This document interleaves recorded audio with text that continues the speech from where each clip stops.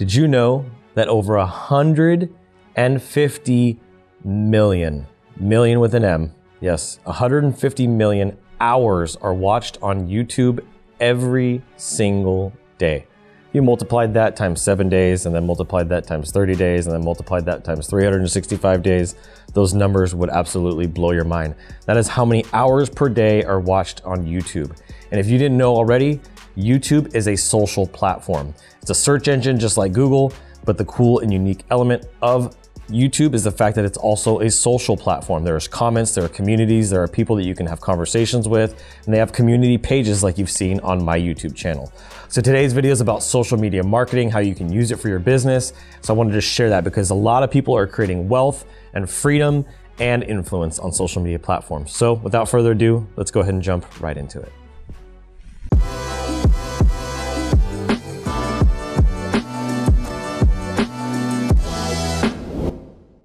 Hey, welcome back to another training video. This is Adrian Boysel, CEO and founder of Adrian Graphics and Marketing. Glad to be back here for another video. Today's video is about social media marketing. You guys have probably been wondering what is social media marketing and how can I get into it? You see lots of people posting pictures on their Instagram with a million followers, 2 million followers, all this influence, all this authority with great stuff. How do they do it? How are they living these free lifestyles? Well, the key to success for them has been social media marketing. They have found their platform or platforms and they've been able to make the most out of it. Before we talk about that a little bit more, I want to share the origins of social media to begin with because I think it's important to take a step back and look at where we've came from to where we are today. Social media marketing really took hold in about 2003 with the launch of MySpace. There were some other platforms before that, but none of them reached the mass awareness that MySpace did. If you remember MySpace and your first friend ever online was Tom. Everybody had Tom, which if Tom ever watches this, I want to get him on the show. So I actually was really big into MySpace when it first started because it allowed you to customize your profile and really make it you. And MySpace's tagline was a place for friends. So if some of you guys are younger, you didn't get onto MySpace or MySpace was just beyond before your years, MySpace was a really powerful platform that helped give credence and give a runway to other platforms like Facebook, like Twitter, like Instagram. All the other platforms that have jumped onto the scene since then were all helped by MySpace. My, MySpace really created that uh, mass adoption in people's minds and really proved the concept. So it's important that you understand MySpace was the beginning. It was purchased and back in 2003, or not purchased, but it was created in 2003. And then in 2005, it was acquired. And then back in 2011, it was acquired again. And during that time, their first acquisition was about 580 million, and their last acquisition was about 30 million. So they've lost a lot of traction over the years, and they just didn't evolve what they really missed in their opportunity for social media was to evolve forward with Facebook, not the other direction.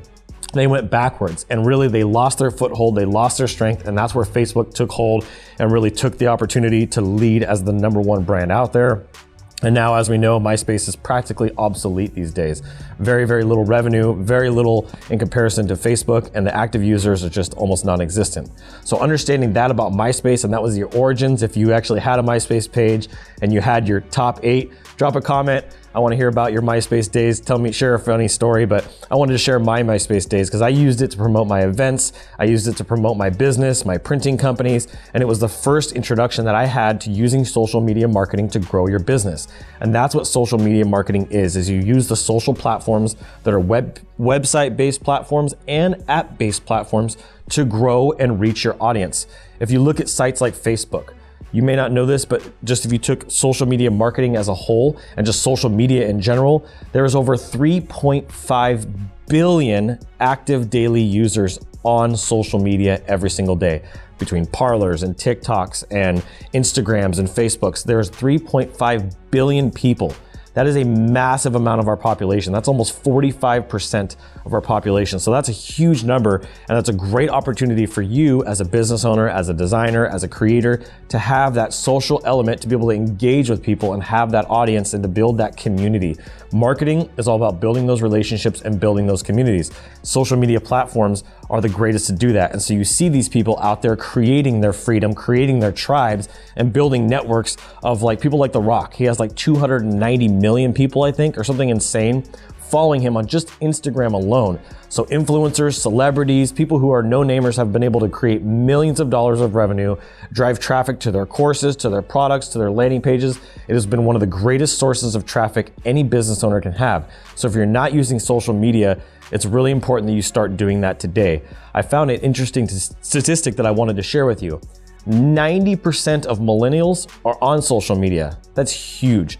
And only 45%, less than half of those people are actually baby boomers are on social media as well. So it's really important to understand that the majority of millennials are already on it. So if you're an, uh, you're a business that's trying to market to millennials, there's no better platform than going onto social media platforms like Facebook and Instagram and TikTok. If you're trying to market to baby boomers, you still have a ma massive market for the baby boomers, people that are, you know, 50 and older this is a perfect generation. I think baby boomers are actually more like 65 and older, but this is a perfect generation that is getting onto platforms finally and adopting it. They call it the late adopters that are getting onto platforms. So if you want to reach them, you can.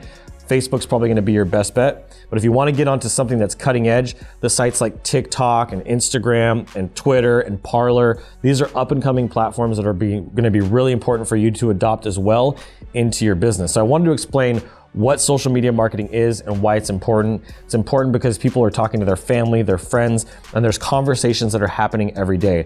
There are people uh, sharing posts, they're sharing memes, they're sharing videos, they're sharing all different types of content. So you wanna be able to figure out what kind of content are you gonna produce on social media. Similar to what I'm doing here on YouTube and on other platforms as I'm uploading these videos to be able to share that social aspect, to be able to share this content for free with thousands of people across the world in different parts of the country. I get emails from people all over the world. So social media has leveled the playing field for businesses. That's why it's important. And it's also given me the, the opportunity to reach people across the country. Even more important to understand is the fact that people are spending three hours a day on average on social media.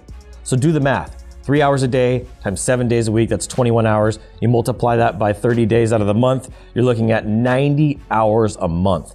That is a significant portion of somebody's life. Next to sleep and work, that's about it. So the fact that you can get so much so much attention on social media platforms from people 3 hours a day is a great opportunity. Websites like LinkedIn, people don't check them as frequently, but when they do, this is a really great place for business to business people to be able to make these relationships. If you're not using LinkedIn, you're missing out. It's a great opportunity. 45% of B2B marketers are using the platform and they're seeing huge success on lead generation, and that's why we created lead butlers. So that's what social media marketing is all about. It's about networking, it's about community, it's about building those tribes. And the bigger the tribe you build, the more money you're gonna make. So, and you don't have to go too big. You want to focus on a niche and reach a small audience first. They say a thousand raving fans is the key. And from there, you'll start to build traction. And that's what we're doing here on YouTube. So I wanted to share those things. I wanted you to understand what social media marketing is, why it's important. There are lots of people who've created multi-million dollar businesses off of social media alone without doing SEO or any of these other things that we talk about. So I wanted you to understand it's an important pillar in your business. You got to take advantage of it. It's something that you should do if you really want to grow your business and scale. Thank you guys so much for watching. My name is Adrian Boysel, and as always, keep looking up.